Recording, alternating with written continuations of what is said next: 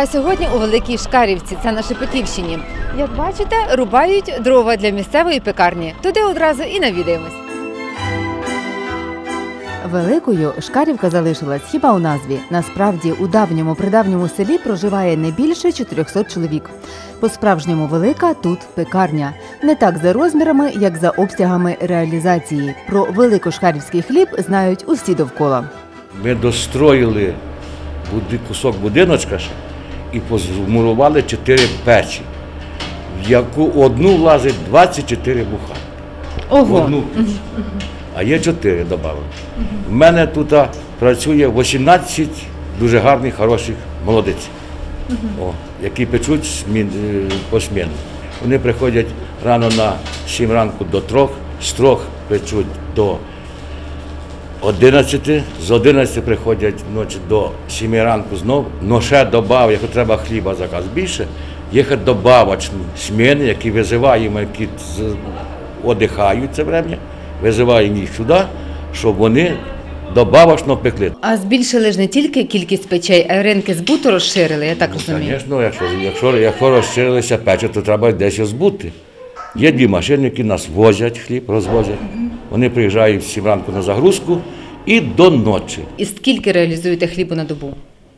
У нас випікається до 700 буханок в сутки. Випікають. І І, такі, і такі дні бувають, що кричать, давайте хліба. Ну воно ж не пампушки пекти. Йому треба, щоб він 8 часов саме менше викис хліб. То він не буде вкусний і не буде липкий. А хто споживає ваш хліб? Люди наші. Печі хліб печуть і водночас дрова сушать. Гори нарубаних ви бачили на початку передачі. Чергова духмяна порція вже зарум'янилась. А що це ви робите? Ми перегортаємо хліб для того, що піч нагорає нерівномірно, і для того хліб ми пересуваємо місцями. Щоб е, ну, деякі хлібини от, е, з одної сторони може бути темніше, з другої світліше. Ми поміняли місцями і піч тоді рівномірно хліб. Процес вимішування тіста механізований, проте і без завзятих рук не обходиться. Це ми його завертаємо, щоб рівномірно мука розмісилася. Так по кругу. Це ми місимо тісто вже для наступної зміни, бо ми вже свій так як спекли. Дівчата прийдуть через півтори години, хліб півтори години сходить. Повинні вже, коли вони прийдуть, хліб вже повинен був е, ну, зійти. Печі ми їм запалюємо, і тоді вони приходять, виробляють і садять в піч. То ми замішуємо зараз тісто, потім друге, друге тісто через півгодини знову замішуємо їм. Дві тісті ми місимо їм. Йдете відпочивати. Йдемо відпочивати. З вашої пекарні реалізується до 700 буханок хліба на день. Це ж треба, щоб людям він подобався.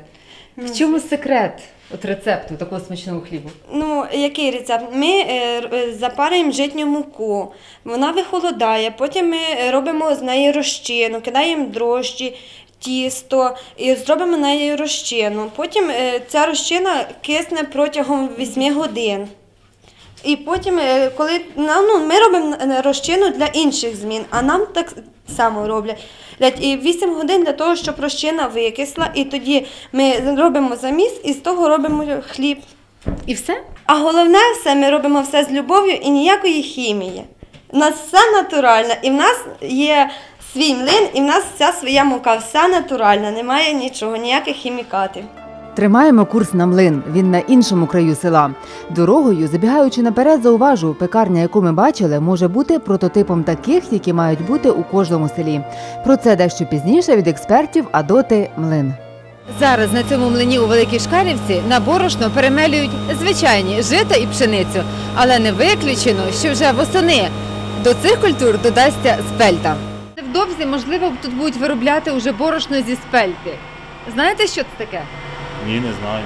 Може, до вас перший раз таке чую. А цей чоловік підказують і чув, і бачив. Добрий день. Добрий ви день. Микола Васильович? Так, Кажуть, що ви знаєте, що таке спельта. знають, так, розказували, що вона. Ми перший рік її посіяли. Посіяли ми 20 гектарів її.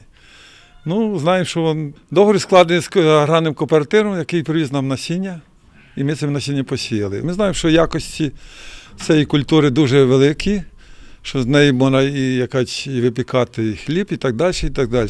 Вони, якась- У нас є свій є хлібзавод, який Ми там будемо, на сліді, як ми зберемо цей урожай, будемо експериментувати будемо робити те, що щоб було добре, щоб хліб був хороший. Ми ждемо урожай, всі, яка наше фермерське господарство. І потім будемо робити якась висновки.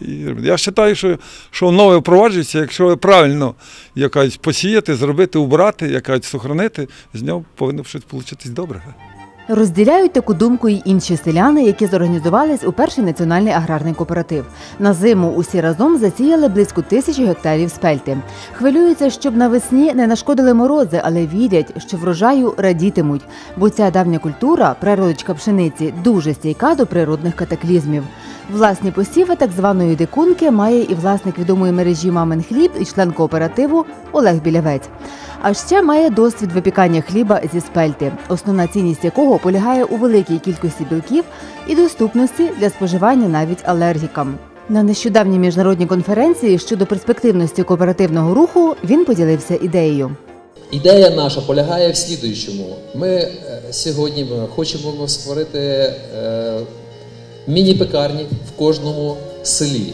І як сьогодні вже говорив е, е, пан е, Зановій, що я вірю в сім'ю і в сімейний бізнес.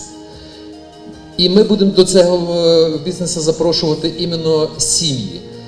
Ті, які хочуть і ну, емоційно налаштовані на те, щоб творити цей продукт, е, позитивний продукт, і продавати його в, в селах. Тому що це таке? Це звичайне приміщення 20-50 квадратних метрів з типовим набором е, обладнання. Е, тістомісильна машина, це може бути піч е, на дровах, піч електрична, а можливо і газова. Саме такі міні-пекарні є чи не у кожному італійському селі, розповів відомий Віталій шеф-кухар і директор ради кооперації у регіоні Венету Девід Маркіорі. Принагідно поспілкувались. Пане Девід, не секрет, що дуже багато українок перебувають на заробітках в Італії. Скажіть, будь ласка, після сьогоднішнього підписання меморандуму про співпрацю, відтак і розвитку кооперативного руху, сподіваємось, в Україні, чи збільшаться шанси українок повернутися в свої сім'ї і мати можливість заробляти тут, на Україні? Перша хвиля еміграції була більше прив'язана до сфери обслуговування, але поступово досить багато українок отримали досить добрий досвід у різних галузях економіки і кооперативах, зокрема. А їх у нас чимало. Тож, повернувшись, думаю, вони зможуть не тільки себе забезпечувати, а й бути корисними для загальної кооперативної справи, яка у вас тільки починається. nostra società ci sono diverse persone di origine ucraina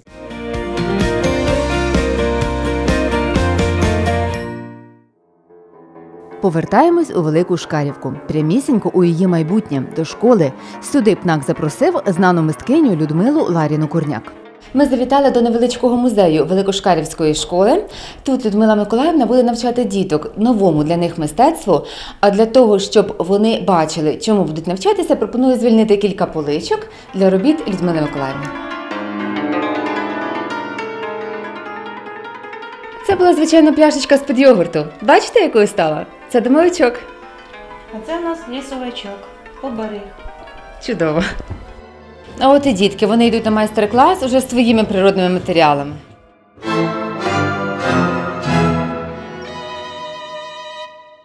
Тут гілочки берези і вільхи, гарбузове насіння, шишки й клен. Дітки, а ви вже знаєте, що будете із цього всього робити? Ні.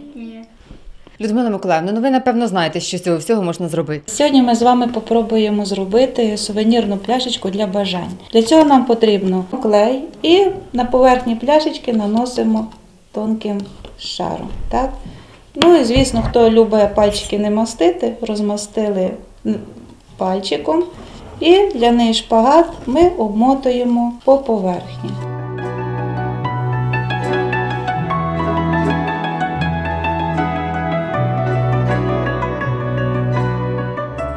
Таким чином, в нас сполучилася ось така заготовка. До ляного шпагата нас досить е, добре будуть приклеюватися наші природні матеріали. Тут ми вже включаємо свою фантазію.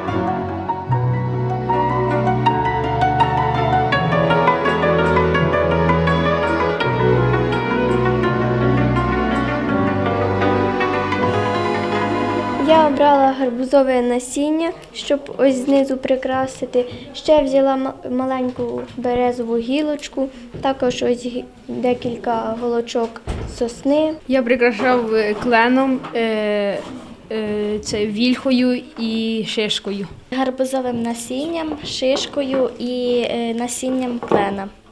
А ти розкажи. Я гарбузовим насінням, шишкою і гілочками з берези.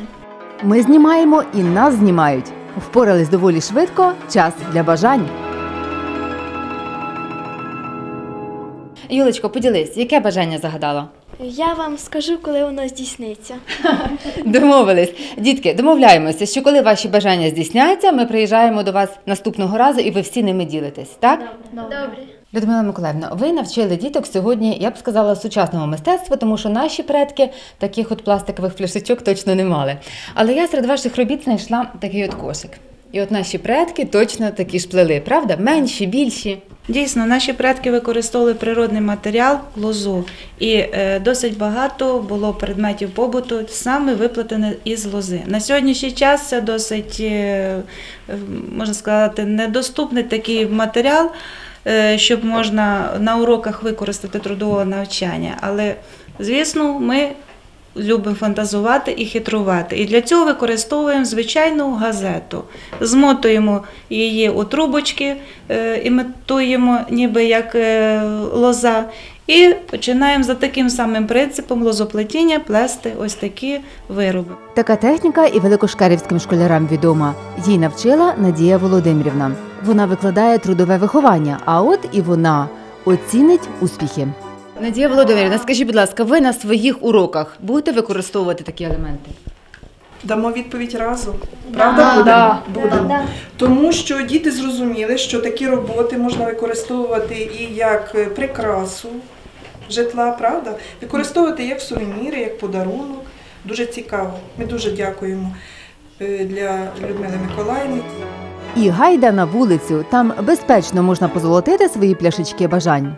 Це на сьогодні є гарна ініціатива першого аграрного кооперативу запросити у нашу школу викладача із з другої сільської школи. Я вважаю, що взагалі сьогодні це була б дуже корисна і гарна справа такий досвід запровадити між всіма сільськими школами обміном досвіду.